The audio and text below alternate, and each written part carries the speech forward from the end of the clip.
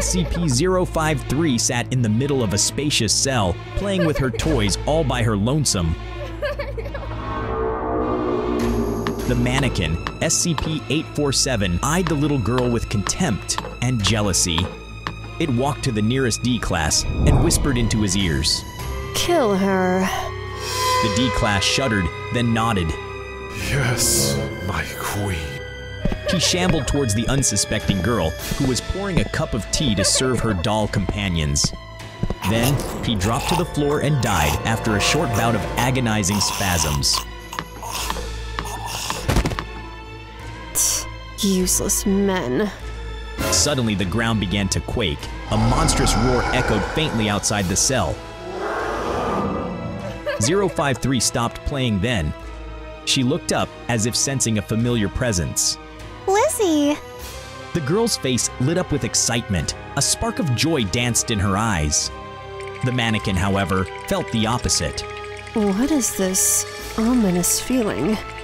As its gaze shifted back to the girl, her disdain for the little girl returned. A crooked smile insidiously etched on its face. Hello, everybody. I'm The Rubber. Today, we bring you a tale from the SCP Foundation. Behind an array of monitors stood two figures, watching as everything unfolded in the test cell. All right, what's on the menu today? Let's see. It's SCP 8474 today. The mannequin? What is the Foundation thinking? They want to test if 053's effect extends to non living beings. Them and their weird ideas. Let's get this over with. The pair was stationed far away from 053's influence, a luxury not afforded to the D class subjects. All right, commencing. Send in SCP 847 and the D class. Two D class subjects, one male and female, carefully wheeled in a locked steel box. The researcher's order screeched from the PA.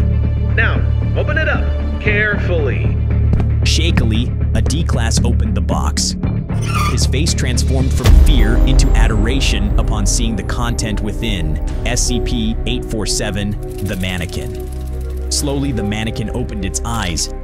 Its limbs jerked erratically as it came alive. The researchers noticed the sudden shift in the male D class's demeanor towards the mannequin as it stepped out of the box. Ugh, men. So, what makes this doll different than the normal ones? Well, for starters, it moves. The mannequin walked towards the male D class. Second, it appears to like men. His face reddened as the mannequin touched his cheek. An artificial yet affectionate smile tore from cheek to cheek on the mannequin's face. Like a lot. The D class reached for its waist as the mannequin assumed a provocative pose. And I'm guessing she, it, feels opposite towards females. Then, the mannequin halted its movement. Its head jerked to gaze at a female D class standing near the box. Yup. The mannequin juddered towards the female D class. It brought its face close to hers, scrutinizing the fearful subject before it. Then suddenly, Very strongly so.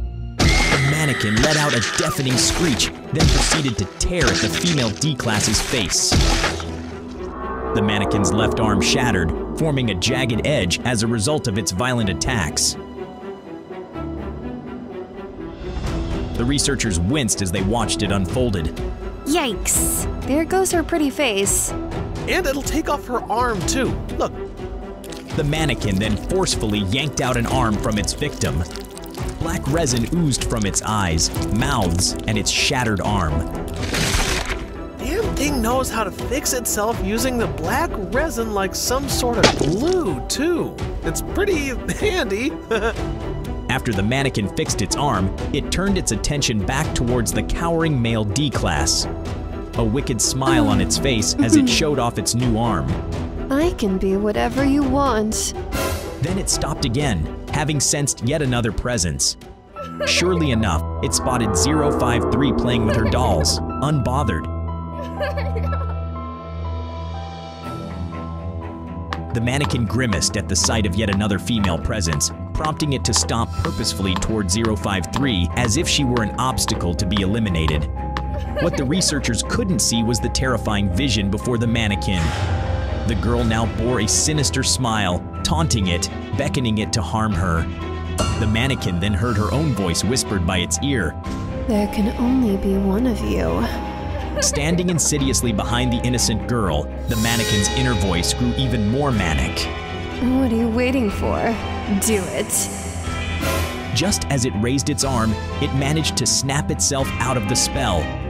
The demonic visage of the girl disappeared and the innocent girl returned. Now, what will you do next? A question the mannequin was wrestling with itself. It stepped coquettishly towards the cowering D class and then whispered in his ears. Kill her. Yes, my queen. The D class dropped dead before he could do its bidding, an act seen as betrayal and abandonment by the mannequin. Then, the mannequin's envy turned into fear as the ground shook. A faint roar in the distance. Crap. Is that? I thought you said it was locked up and sedated. We gotta speed things up now. He then pushed a button, and more D class subjects entered the test cell. Instantly, they were all charmed by the mannequin's seduction and became its pawns. Under its order, they rushed to harm 053. Some died of heart attack, some became enraged and turned on the mannequin. How bothersome. Like knights in shining armor, the D-class subjects rushed forward and defended the mannequin against those driven to rage by 053's anomaly. As the researchers watched the nail-biting action unfold, the tremor returned and was getting closer. SCP-682 burst through the walls and devoured the researchers.